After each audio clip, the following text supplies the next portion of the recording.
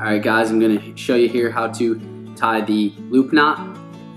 Now if I'm not tying the improved clinch knot, oftentimes I'm tying the loop knot to my lure and my hook to give it a little more free swimming or swinging action underneath the water. So first you start by actually making a loop in your line, small little loop, and what you're going to want to do is run this loop down a little bit. Give yourself some leader, uh, say about 12 to 14 inches to work with, um, depending on your needs of the size of the loop and the length of the leader you're looking to use.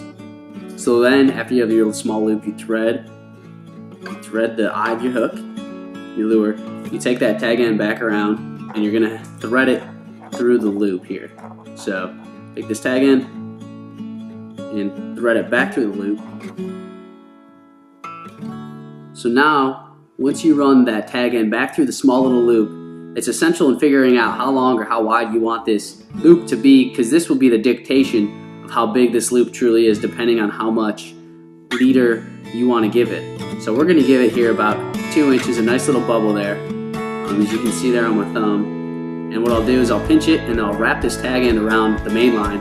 Um, usually you do it about five to six times. I'm going to do it three times here because I'm using 50 pound leader. So once I wrap it around the main line three times, I bring that tag end back down through that same loop on the bottom side,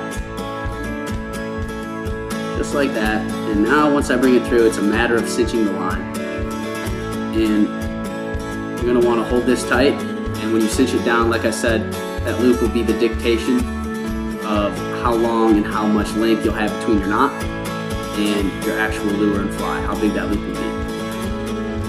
So once I cinch it down there, get a nice little loop knot about an inch, inch and a quarter in length, big enough to give this fly more than enough action under the water. And you cinch it down just like that. Now once, once it's cinched, you're gonna wanna take your pliers, trim that tag end, and you'll have a nice little loop knot and lure to go with it. So Hope this tip helped. Thanks for tuning in.